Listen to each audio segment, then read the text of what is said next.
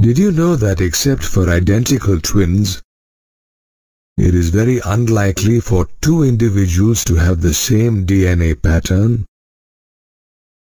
It is the small difference in base pair sequences of DNA that make the phenotypic appearance of each individual unique. The human genome has about 3 billion base pairs.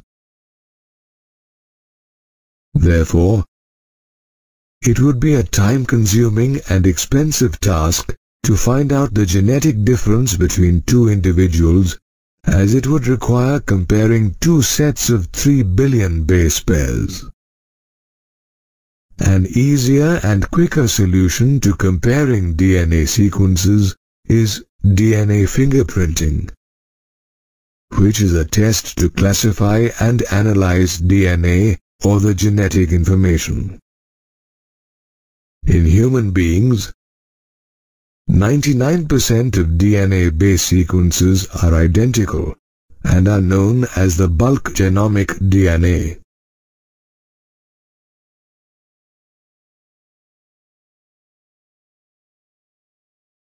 The remaining 1% DNA base sequences differ and are present as a small stretch of repeated sequences known as repetitive DNA.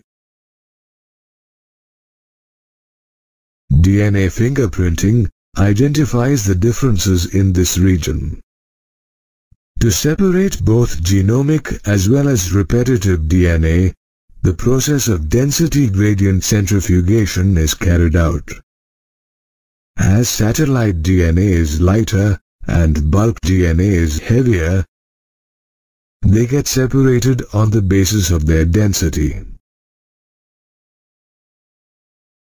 Graphical representation shows bulk genomic DNA as a major peak and repetitive DNA as smaller peaks known as satellite DNA. Satellite DNA is highly repetitive and consists of non-coding sequences. Based on the length of the segment, base composition, and number of repetitive units, satellite DNA can be classified as mini-satellite DNA and microsatellite DNA.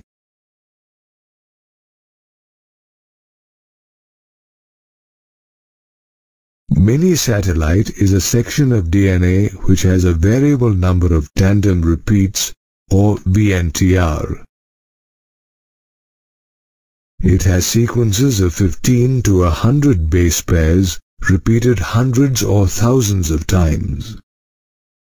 On the other hand, microsatellite is a section of DNA which has tandem repeats of shorter sequences of 2 to 10 base pairs. Both mini-satellite and microsatellite DNA act as molecular markers in the DNA fingerprinting technique.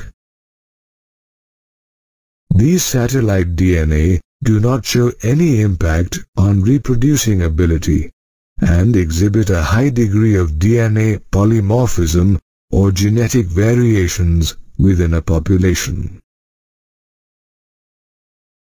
DNA polymorphism is the result of mutations in either somatic cells or germ cells, which accumulates over generations.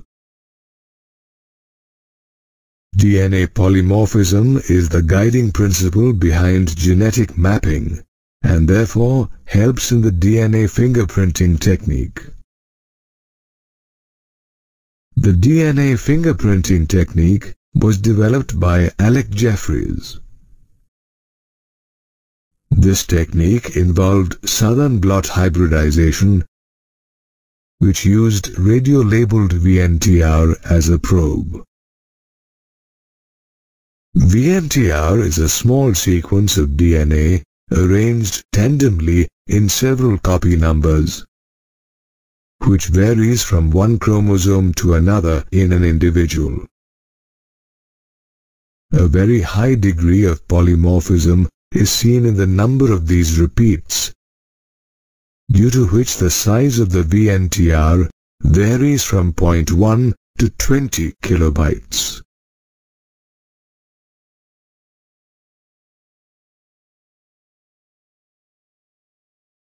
Let's now study the steps involved in the DNA fingerprinting technique.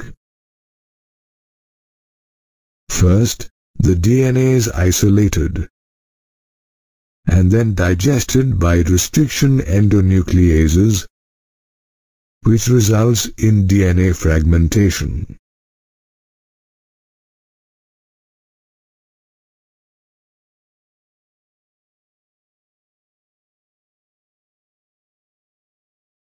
Next, these DNA fragments are separated with the help of gel electrophoresis.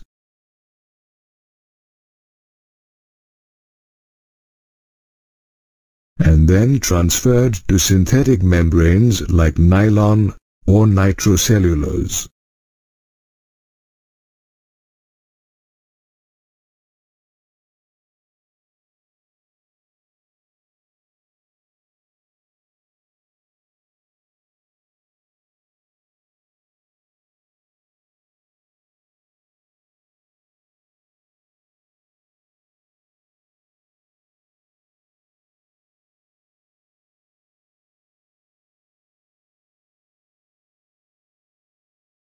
This step is followed by the hybridization of the DNA fragments using a radio-labeled VNTR probe.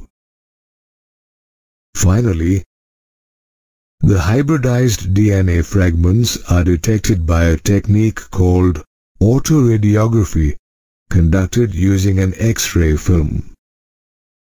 Hybridization with the VNTR probe results in an autoradiogram which produces several bands of different sizes. These bands provide a characteristic pattern to an individual's DNA and vary from one individual to another except in identical or monozygotic twins.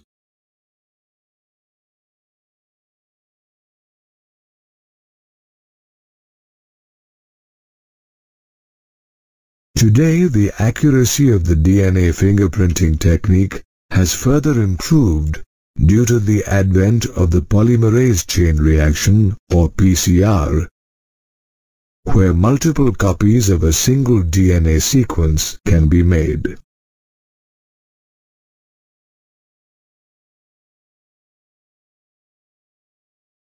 DNA fingerprinting has also advanced due to the use of different types of DNA probes.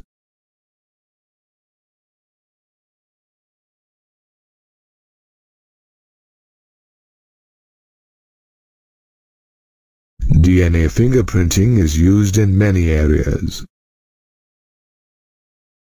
It utilizes DNA as an identification tool and helps in forensic applications such as crime investigation. It also helps determine genetic and population diversity, forms the basis of paternity testing in case of parentage disputes, and also helps in the study of evolution and speciation.